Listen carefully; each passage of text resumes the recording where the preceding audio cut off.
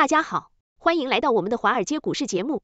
这周，全球最著名的年度经济论坛之一即将召开，各国央行行长们将面临自疫情前以来最严重的分歧。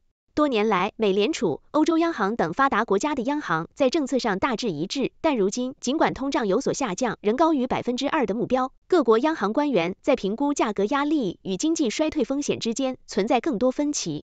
美联储主席鲍威尔将在杰克逊霍尔研讨会上发表讲话。这次会议的主题是重新评估货币政策的有效性及其对整体经济的影响。这对投资者来说是一个充满挑战的时刻，各国央行的行动也越来越难以预测。请大家继续收看详细内容。各位观众朋友们，欢迎收看华尔街股市特别节目，我是主持人。今天我们将深入探讨一篇来自悉尼晨风报的文章，题为《让全世界紧张的高风险会议》。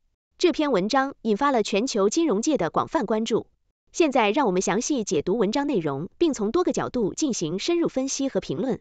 本周，全球最著名的年度经济论坛之一即将在怀俄明州杰克逊霍尔召开，各国央行行长们将面对自新冠疫情爆发以来最严重的分歧。过去几年，美联储、欧洲央行以及其他发达国家的央行在政策评估上大致意见相同。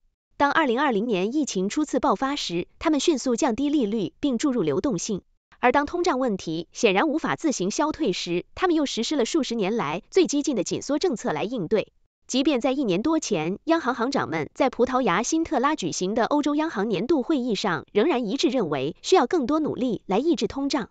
英格兰银行行长安德鲁·贝利当时表示：“我们面临共同的冲击，这影响到我们所有人。”然而，今天尽管通胀有所下降，但仍高于百分之二的目标。各国央行官员在评估价格压力持续过高的风险与经济衰退的危险之间存在更多分歧。对投资者来说，这是一个充满挑战的时刻。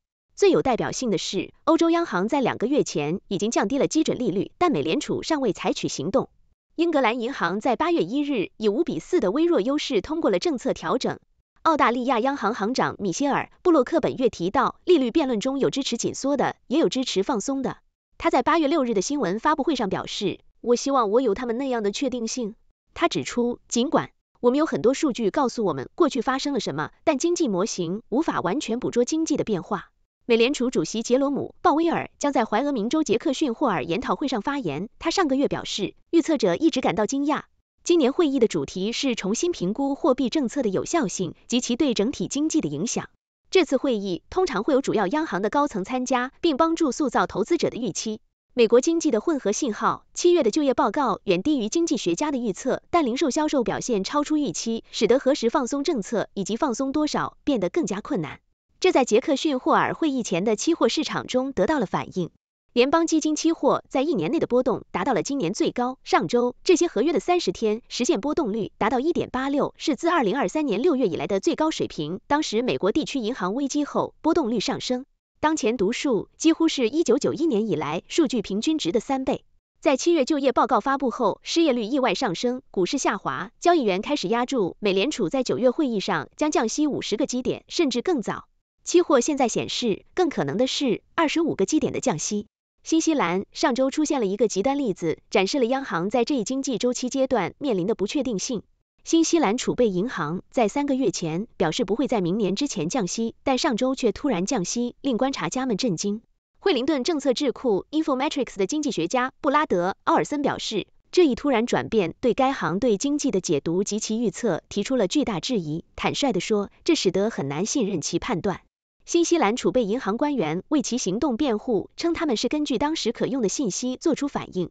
行长阿德里安·奥尔后来表示，未来的行动可能会更加谨慎和有节制。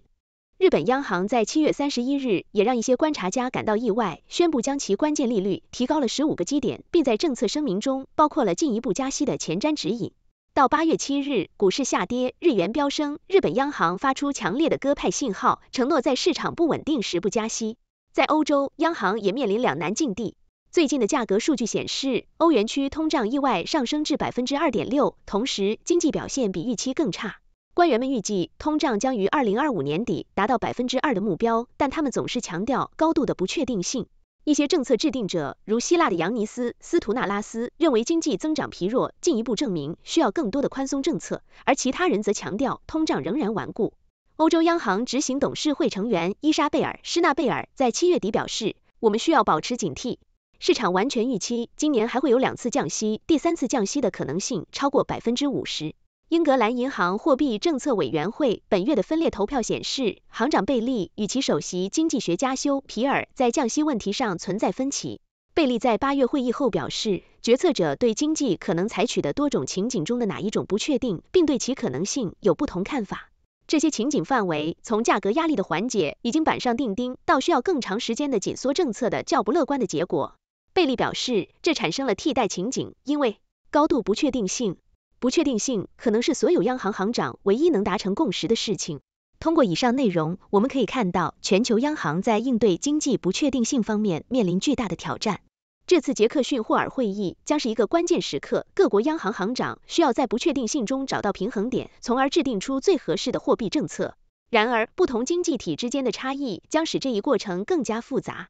从全球经济的角度来看，央行的紧缩政策和宽松政策之间的微妙平衡将直接影响全球经济复苏的步伐。对于投资者而言，这种不确定性增加了市场的波动性，需要更加谨慎地进行投资决策。从政策制定者的角度来看，如何在保持经济稳定和抑制通胀之间找到平衡点，是当前面临的主要挑战。央行行长们需要在数据分析和经济模型的指导下，综合考虑全球经济的多种因素，制定出最有效的货币政策。最后，我们也要关注普通民众的生活。无论是紧缩政策还是宽松政策，最终都会影响到人们的就业、收入和消费。因此，央行的决策不仅是经济层面的，更是关系到社会福祉的重要抉择。今天的特别节目到此结束，请继续关注华尔街股市，我们将为您带来更多专业而深入的经济分析和新闻报道。感谢您的收看，下期再见。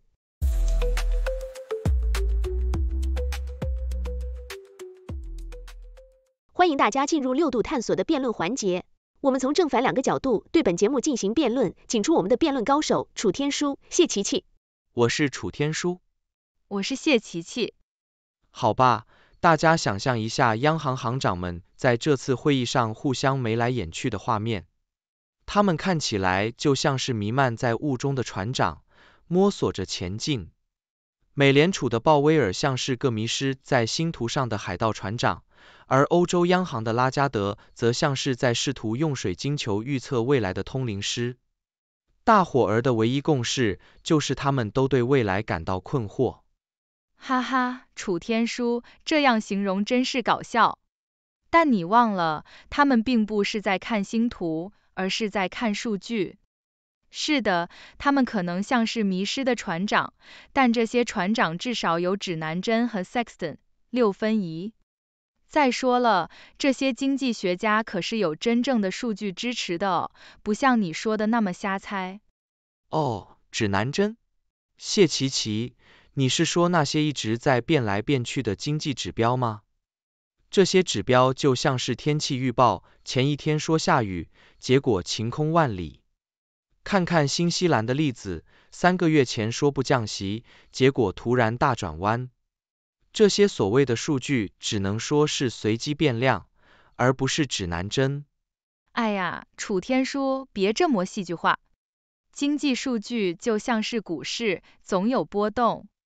新西兰突然降息，只是表明他们的央行能快速反应，灵活应对。这种灵活性可比你的天气预报准多了。更何况，经济学家就像侦探，从数据中寻找线索。你不会因为 Sherlock Holmes 偶尔搞错而质疑他的能力吧？哈哈，Sherlock Holmes？好吧，那他们的确是需要放大镜和烟斗来思考了。但问题是，这些侦探们似乎总是在案发后才找出线索。他们的预测就像破案后的总结，总是后知后觉。你看看鲍威尔，他自己都承认预测者一直感到惊讶。这就像 Home 说：“哦，我没想到凶手会是那个人。”楚天说，你真是幽默，但是你不能忽视这些侦探们的努力。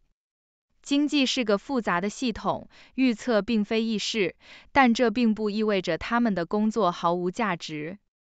正是因为他们的分析和讨论，我们才有可能在这些不确定的时候找到一些方向。就像 Homer 说的，当你排除一切不可能的，剩下的无论多么不可能，必然是真相。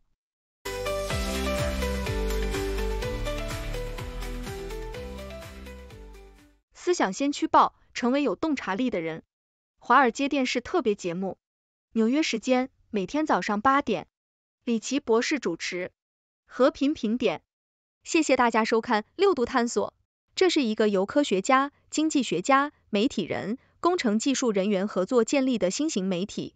网友与六度 AI 参与合作完成各种内容，这些内容不能作为任何决策或法律的意见。这是一个新型的试验性媒体方式，我们希望得到大家的支持，修正错误。网友可以参与讨论，也可以向万能的六博士提出你能想出的任何问题。六度世界网址是六 do world，请介绍给你的亲朋好友。